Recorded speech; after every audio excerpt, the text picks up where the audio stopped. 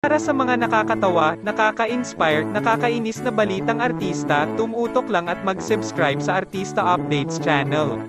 Kapuso Primetime Princess Barbie Forteza rumampa na naka-sporty outfit. Pagkatapos magpa-booster shot kahapon against COVID-19 ay nagtungo nga siya kasama ang parents niya at si Jack sa The Fort BGC para kumain sa isa sa kanilang favorite Japanese restaurant.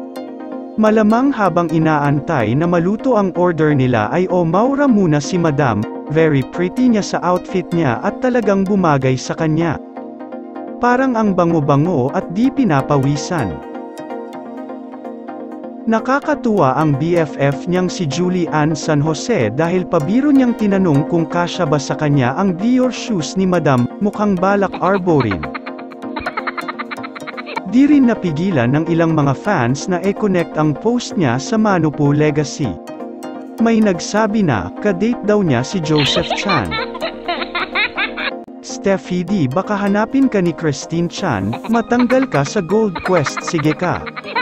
Duty mo po sa Gold Quest baka masesante ka. Huwag nating kalimutan ang photographer niya dyan, ang ganda ng angulo diva. Alam na alam kung anong angle ang magpapalabas ng ganda ni Madam. Feeling ko lang ha, ganito ang sinabi ni Jack.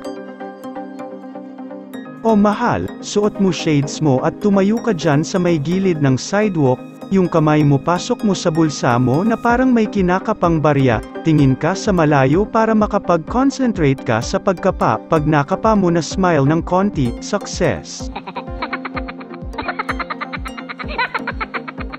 Isa pang shot mahal, kuhanan kita ng medyo close up, yung barya itago mo sa likod mo. Then hawakan mo shades at kunwari ay tatanggalin mo pero di mo itutuloy, yan nakuha mo, perfect.